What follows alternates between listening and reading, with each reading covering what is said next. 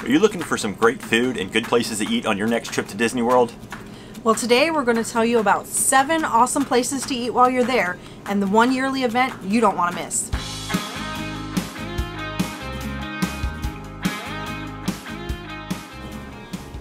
So today we're going to tell you about a seven amazing places to eat at Disney World. But before we get started, go ahead and click that subscribe button and then hit that little notifications bell right next to it. You're not going to want to miss any of our upcoming videos. All right, let's get to it. So coming in at number seven on our list is Be Our Guest at Magic Kingdom. So this is one of the most popular restaurants at Disney World and it's kind of hard to get a reservation. Um, the atmosphere was really amazing. Yeah, we had dinner there, and the the Beast's Castle is gorgeous. It's a really cool place to eat.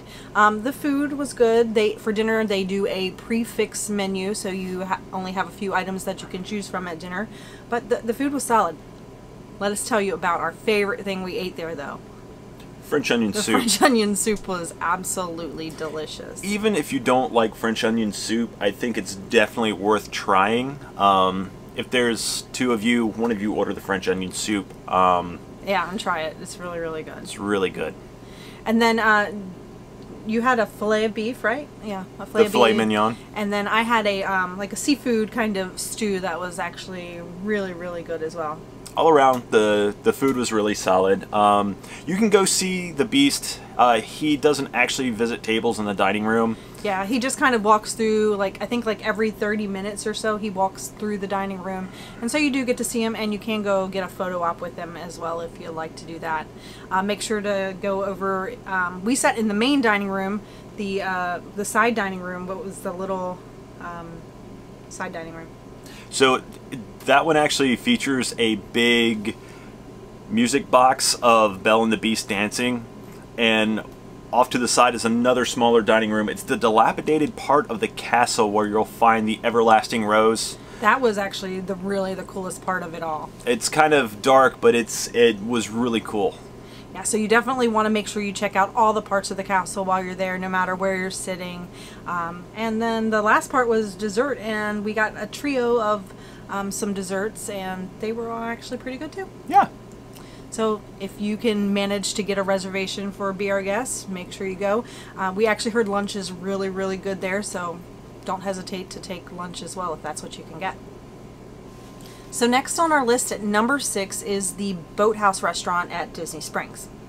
So this is the decor was exactly like the name is. It looks like a boathouse. Um, next door they have amphibious car boats that you can rent and cruise around. So the really cool thing about those car boats is if you eat at the restaurant, you actually get a pretty good discount on those if you want to go out and check them out. And of course the restaurant is sitting right there on the water at Disney Springs, so it's a nice location.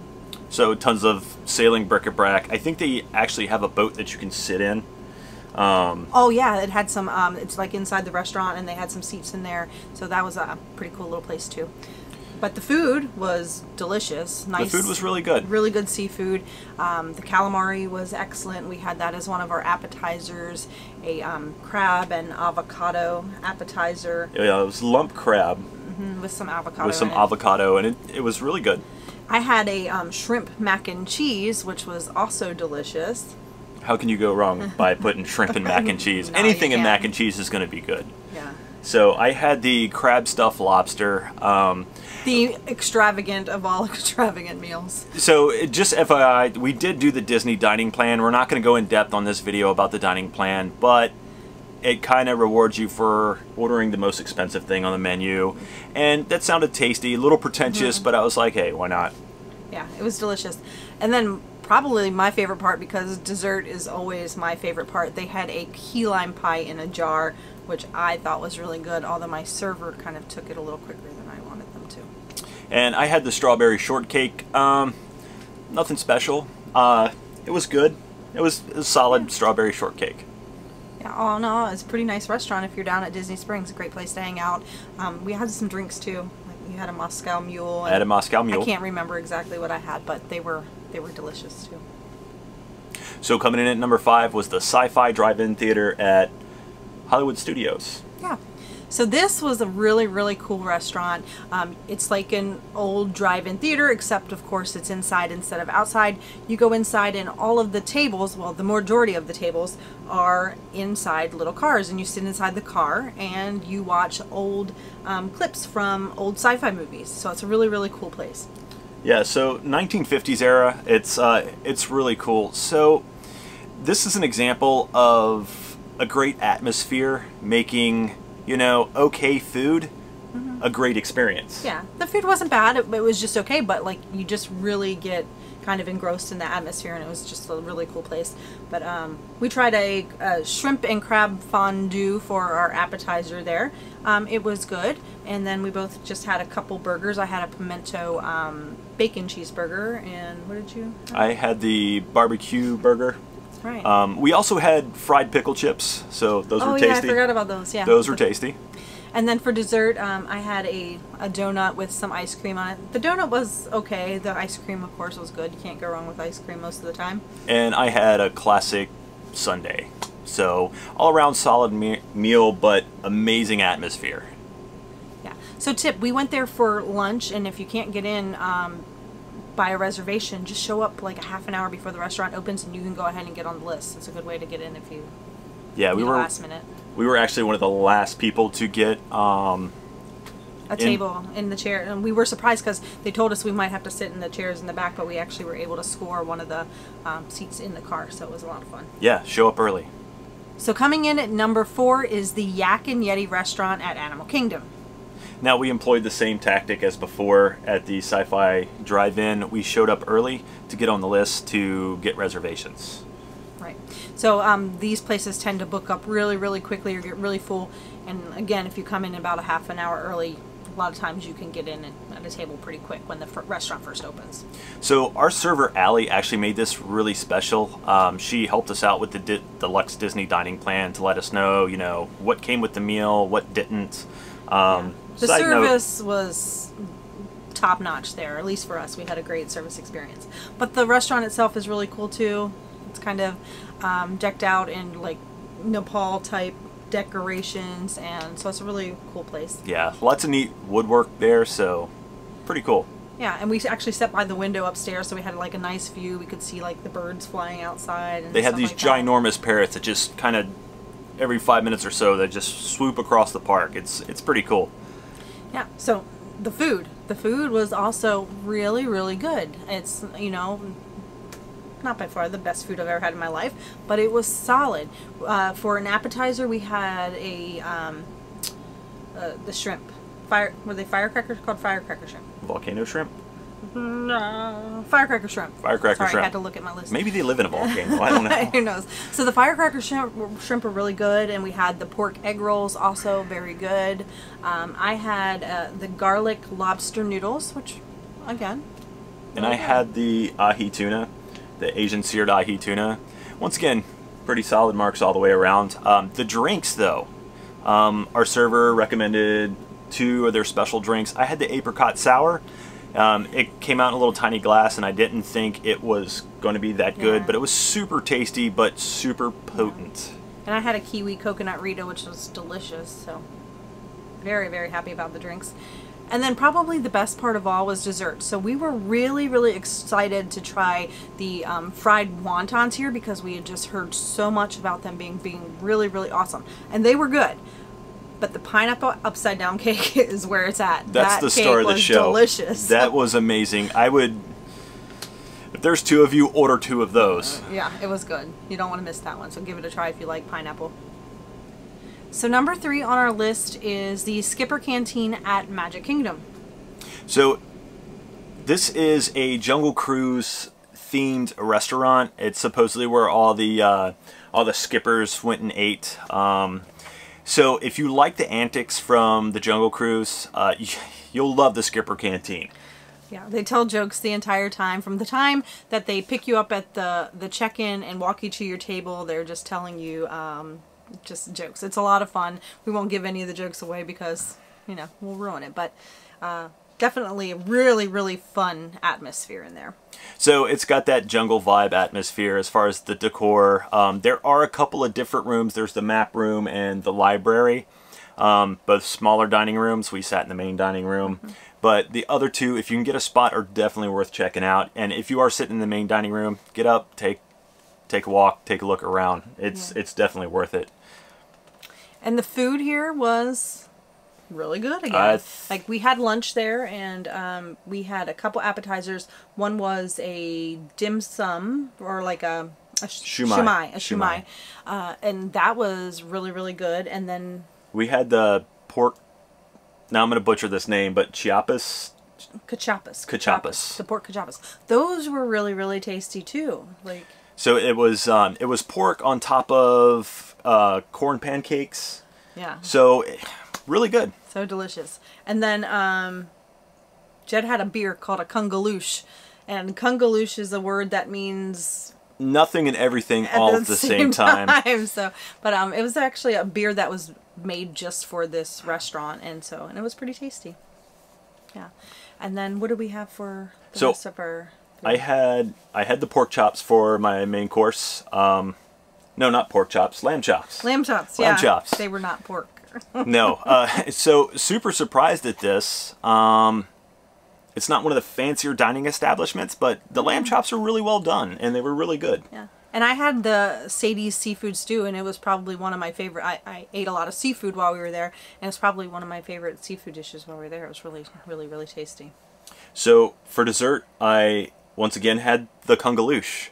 Yeah, so they have a dessert called kungaloosh too. It was good, and I had a it was like a coconut bar of some sort, and it was again really really tasty. So, if you're a Disney historian, Kungaloosh, there used to be an old show about the Adventurers Jungle Club. I'm totally but- butchering that too.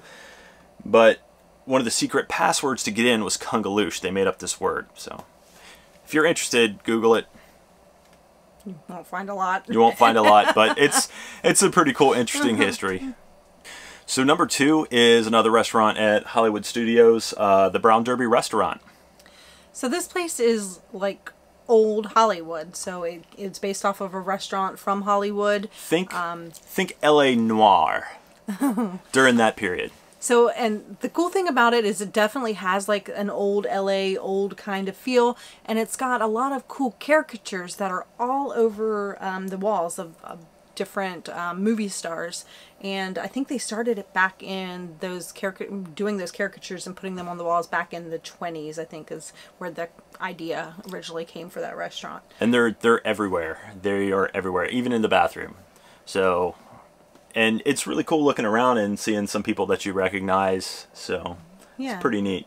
And the food was actually really, really good here. I, we really enjoyed our meal. Um, our server Scott was fantastic, um, and the, the food was just really, really, really solid. We had a um, for an appetizer a beef carpaccio, Oh, that was and good. it was so good. And then there was um, a, a blue crab, um, lump blue crab uh, wonton that we had, and it was a huge wonton filled with blue crab that was delicious. And if you know us, we're big fans of blue crab, so it was really, really good. Yeah. So for the main course, I had the fillet of beef. Um, once again, it was cooked perfectly. the The cut of meat was really really nice. So I really enjoyed that. Yeah, and I had a um, black, bleh, black grouper and um, lobster chipano.